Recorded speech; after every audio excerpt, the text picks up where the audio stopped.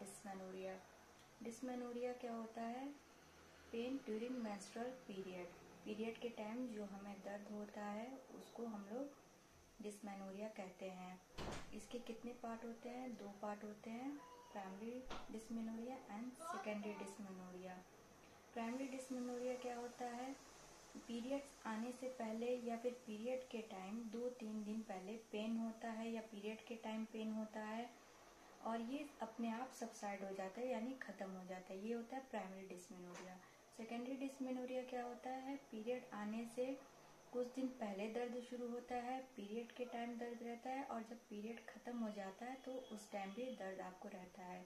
इसके कई रीजन हो सकते हैं, जैसे कि adenomyosis endometriosis PID, cervical stenosis, fibroid ये सब इसके रीजन हो सकते हैं।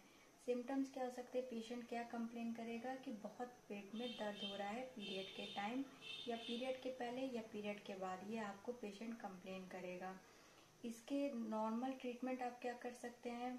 हॉट वाटर बैग से पेड़ों पे सिकाई कर सकते हैं, यानी जहाँ पे दर्द हो रहा है वहाँ सिकाई आप कर सकते हैं और नॉर्मली पेन किलर लेके पेन इस खत्म भी किया जा सकता है इसका। जैसे मेफ्टाल इस्पास पैरासीटामोल, इससे भी ट्रीटमेंट इसका हो सकता है। अगर पेन आपका बहुत अगर आपको बहुत ज़्यादा पेन हो रहा है तो डॉक्टर से विज़िट करिए गैनोलॉजिस्ट से दिखाइए।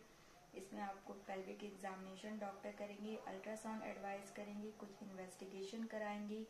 इसमें आपको कैफीन अवॉइड करना पड़ेगा टी अवॉइड करना पड़ेगा कॉफ़ी अवॉइड करना पड़ेगा स्मोकिंग अवॉइड करना पड़ेगा। उसके बाद जो डॉक्टर कहेंगे उसको फॉलो करके उसका ट्रीटमेंट